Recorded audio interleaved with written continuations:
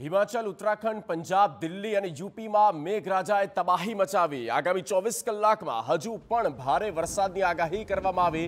અતિ ભારે વરસાદ અને ભૂસ્ખલનથી ચાર દિવસમાં સોથી વધુ લોકોના મોત થઈ ગયા છે અને ચોવીસ કલાક દરમિયાન ઓગણચાલીસ જગ્યા પર ભૂસ્ખલન થયું છે.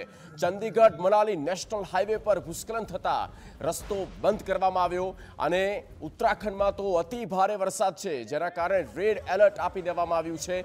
ઉત્તરાખંડમાં ભૂસ્ખલન અને ભારે વરસાદને કારણે ત્રણથી પાંચ હજાર લોકો ફસાઈ ચૂક્યા છે. યમુના નદી હજુ પણ ભયજનક સપાટી ઉપર વહી રહી છે.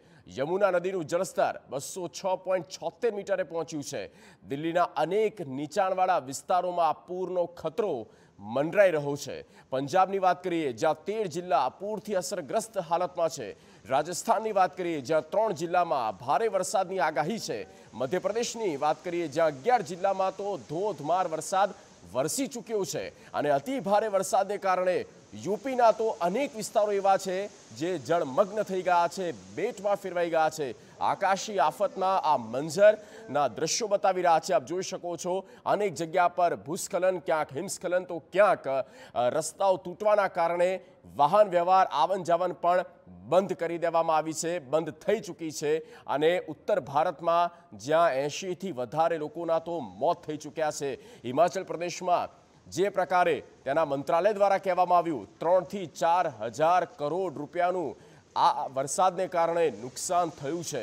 દિલ્હીની વાત કરીએ, દિલ્હીમાં આજનો દિવસ ભારે છે અને આજના આ ચોવીસ કલાકમાં રેડ એલર્ટ છે, હેવી રેનફોલની પૂરેપૂરી શક્યતા. ત્યાંની સ્થાનિક જે નદી છે, યમુના નદી, તેનું જળસ્તર વધ્યું છે, બસો ચાર મીટરે પહોંચી ચૂક્યું છે.